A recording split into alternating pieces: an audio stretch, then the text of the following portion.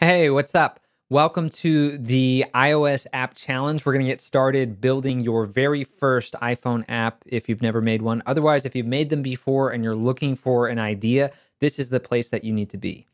Hey, I'm Paul Solt. I run Super Easy Apps, and we're going to just get started. So, this is going to be a summary of the kickoff that we had today. I had a live stream, and I'm just going to run through what we did. We talked about doing an iOS 11 or sorry, iOS 12 app that just came out so you can get some of the stuff. So I'll be going over what we need to do.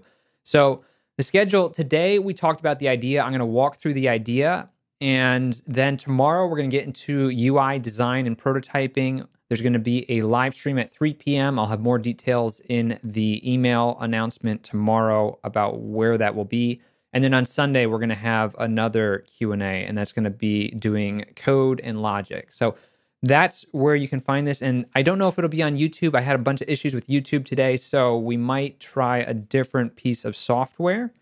All right, so what I want to talk about is the idea. One of the things that you're going to want to download, and I'll have a link for this in the email, is what the app idea is about. So my mom teaches diabetes and so I figured, why not create an app that will help her as she's trying to teach people and show them that they're at risk and maybe help them reduce some of their risk factors. So that's what we're going to be getting into with this. We're going to be turning this single page. I found this in the American Diabetes Association. They had this big, long thing, and this looked really interesting. So I grabbed this PDF out of that and I decided why not make this an app challenge? Let's make an app that's going to help people evaluate their health and figure out next steps if they are at risk for type 2 diabetes. So that's what we're building.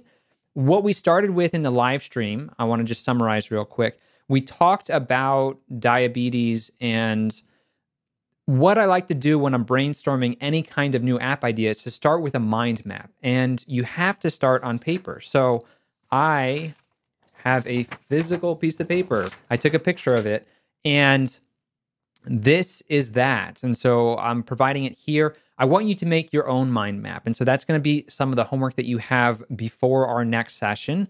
I want you to to think about okay, what is going to go into this app? You're going to have to go over, uh, maybe print this out or get the PDF if you don't already have it.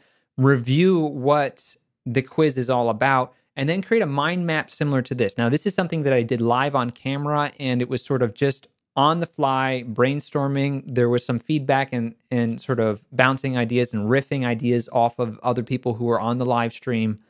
We've got close to I think 65 people signed up for this challenge, so that's super exciting. And I think I'll have a Slack channel set up. That's something else I need to uh, set up, but that will be in the email details uh, for tomorrow. So this is my mind map. And w- just quickly going over this, I just want to spend a minute on this more. Um, we're talking about multiple choice. I'm looking at the mind map. We're trying to determine someone's age. So we could have the multiple choice like is on that that PDF. This PDF has a, a multiple choice for age or we can be smart and just ask how old are you and the the app can figure out okay how many points do i score them the whole purpose of this app is when you answer these questions, you get rated for points. So if we look at an example here, I'm 32, so I'm less than 40, so I'd get zero points. But my dad is 65, I think, and he would get three points. So he's at risk just because he's 65. And so you are going to want to score yourself, see how you score. And then we're going to build the app this weekend so that you can do this automatically. All right, so that's a little bit about that. And I talked uh, I talked there about um, a way that you can control. And so this is Brew Coffee. This is an app that I'm working on. One of the fun things I like to do is use gestures. So I can use my finger and I can just slide this number up and down or left and right to change potentially your age. So you might be 76. And then I've got a little stepper thing so I can step one little thing at a time. So that is the Brew Coffee app. This is in beta right now. If you go to brewcoffeeapp.com, you can sign up for the beta. I'm going to be uh, inviting a bunch more people to that public beta. All right, so that's that's sort of one idea for input. The other idea for input for that, uh, and it looks like we're pretty much done with that, is just doing what they do on on the stopwatch, just using the built-in control, which you can totally use as well. So that's another option for the number input, or you could use the text field. You could do just typing on the keyboard, though I don't like doing that on a mobile device. This is not fun to use on a mobile device. Make it interactive. Use the the sliders that are a lot easier. All right, so those are some of the ideas that we went through. Watch the live stream to sort of see that whole process if you want to understand sort of my notes here. This is my mind map. This is why you need to do your own mind map.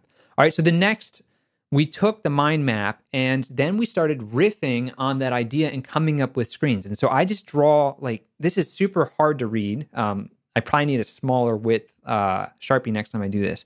But the point is not to be perfect and to be amazing. Uh, I've got some artistic talent, but I'm not a professional artist. So it's going to look sloppy, and that's fine. What I want you to do is riff on the ideas that we have here. How could you lay out these screens? What are the different things? One of the things that we discovered as we're sort of going through this is like, okay, how are we going to navigate and sort of walk through the content?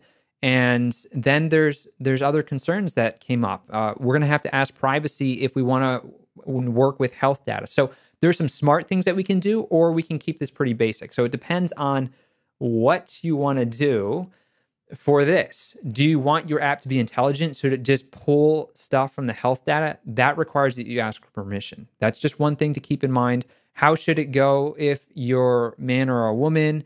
Do you what if you make a mistake? Can you go back? So it's these different types of things that you have to think about when you're doing this type of survey. That's what this whole step and process is. And I need to do a a better sort of walkthrough of this on my own so I can figure out how I actually want to map things out. So that's what I'm going to be working on tonight and tomorrow morning. And then uh, tomorrow I'll share what I come up with, and I want you to share what you come up with. So we talked about autofilling potentially from Facebook or Amazon. There's some kind of Amazon facial recognition. It's spelled Rekognition with a K. So if you Google that, you can look that up. Todd mentioned that in our live stream. Um, so there's always smart things that you can add, but let's keep this simple for now and just let you decide how you want to do it. I'm gonna I'm gonna probably keep it straightforward for my implementation, um, but we're at the brainstorming phase, so do whatever you want. It's it's not my app; it's your app. So I want you to think about what you want to do. So that is sort of the quick summary of what we went over.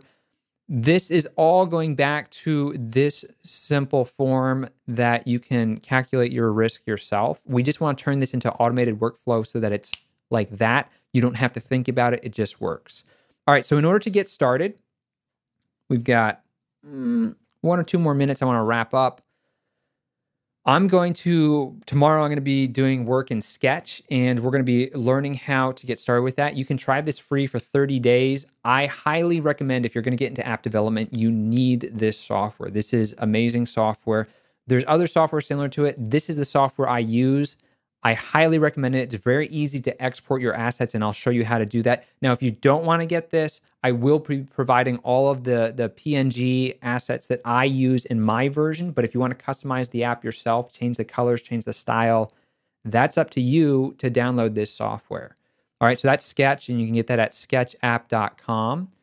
Next up, you're going to need Xcode 10. We're going to be working with Swift 4.2. I think you can get by with Xcode 9 for the stuff that we're doing, but I'm going to be, once I get into the code stuff, it's really going to be Swift 4.2. So if I'm using any of those new features, any of those new APIs, you're going to want to make sure that you have the latest there. I know that there's some differences in the string APIs and stuff like that. So something to keep in mind, go grab uh, Xcode 10. You just need to log in with your Apple ID.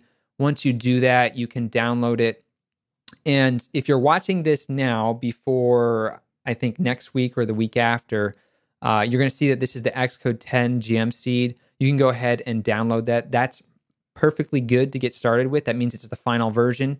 In a week or two, what you'll be able to do is you'll be able to grab the latest update of Xcode on the App Store. So if we type in Xcode on the Mac App Store and we jump over to this, um, if you're watching this later, uh, the current version is 9.4. This is going to be updated once it goes through the official release process, and it will be Xcode 10.